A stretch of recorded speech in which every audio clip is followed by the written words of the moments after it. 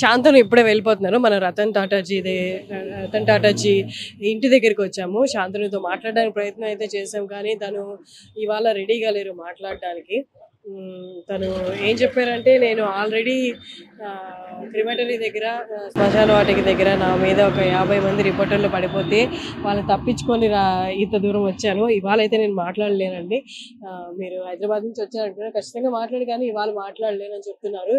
మనం రతన్ టాటాజీ గర్ ఇల్లు ఏదైతే ఉందో అక్కడ బయటే ఉండి మా మాట్లాడుతున్నాను రైట్ నౌ శాంతను ఆల్మోస్ట్ మనకి ఇప్పుడే కనిపించారు. కానీ ఇంటర్వ్యూ ఇవ్వడం కష్టం అని చెప్పారు. తన బాధను కూడా మనం అర్థం చేసుకొని కొంచెం ఫోర్స్ చేయలేదు. అంటే ఇలాంటి పరిస్థితుల్లో ఫోర్స్ చేయడం కష్టం. తను ఇవాళ అయితే అసలు నేను మాట్లాడలేదు తర్వాత మాట్లాడతానని మాత్రం మనకైతే చెప్పారు.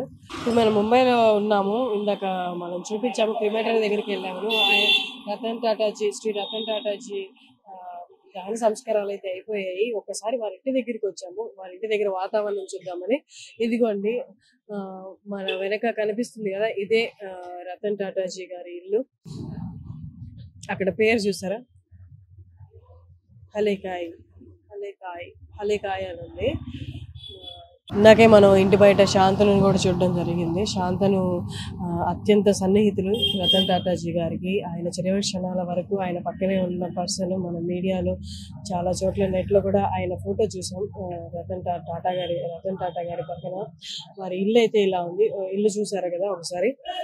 ఇంద్రభవనంలో ఉంది బయట చూడడానికి. ప్రస్తుతానికి అయితే మన ఇంటి దగ్గర బయట ఇక్కడ ఎవరైతే కనిపించట్లేదు. మేబీ క్రిమేషన్ అయిన తర్వాత అందరూ లోపలికి వెళ్ళిపోయినట్టున్నారు. మనకి చుట్టుపక్కల అయితే ఎవరు కనిపించట్లేదు. ఇందాక శాంతను అయితే మనం ఇంటి బయట చూడగలిగాం. కానీ శాంతను ఇవాళ ఉన్న పరిస్థితికి నేను మాట్లాడలేనని చెప్పారు. మాట్లాడలేదని చెప్పారు.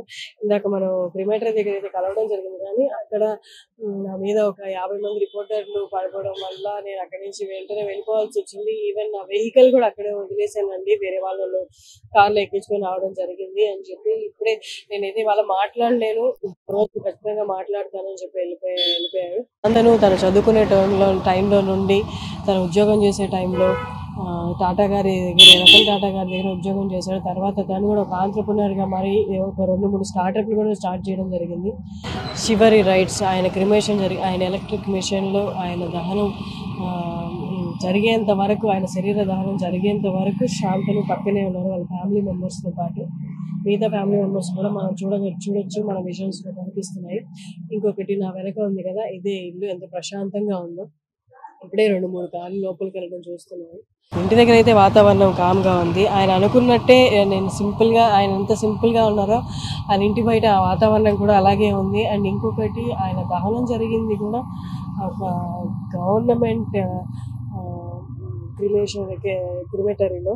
నార్మల్గా రతన్ టాటాజీ గారు లేరు మన మధ్య లేరు. ఆయన చనిపోయారన్న వార్త తెలిసిన తర్వాత ఆయన దహన సంస్కారాలు ఎలా జరుగుతాయో ఆయన పార్సీలు కాబట్టి ఆయన పార్సీలు కాబట్టి వాళ్ళ పద్ధతుల ద్వారా జరుగుతాయా అని అనుకున్నారు. పార్సీలు నార్మల్గా కాల్చి వేయడం అయితే జరగదు. కానీ ఎలక్ట్రిక్ మిషన్లో అయితే ఇవాళ దహనం జరిగింది.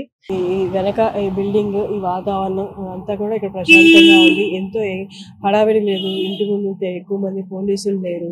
ఇప్పుడు మనం చూస్తున్నాం కదా ఈ ఇంటి బ్యాక్ సైడ్లో రతన్ టాటా గారు ఉంటారు. ఇక ఆయన దేహం పొద్దున ఇక్కడ నుండే బయలుదేరింది. ఇక్కడ నుండి బయలుదేరి శ్మశాన వాటికి అయితే వెళ్ళింది. ఇప్పుడు మీరు చూస్తున్నారు కదా బిల్డింగ్ దీనికి బ్యాక్ సైడ్లో ఉంటారు రత రతన్ టాటాజీ. హాస్పిటల్లో కన్ను మూసిన తర్వాత ఇంటికి తీసుకురావడం ఇక్కడ నుంచి గ్రౌండ్కి తీసుకెళ్ళడం అక్కడ నుండి క్రిమేటరీకి తీసుకెళ్ళడం జరిగింది. అది ఇక్కడి నుంచే తీసుకెళ్ళారు ఈ ఇంటి నుండే తీసుకెళ్ళారు.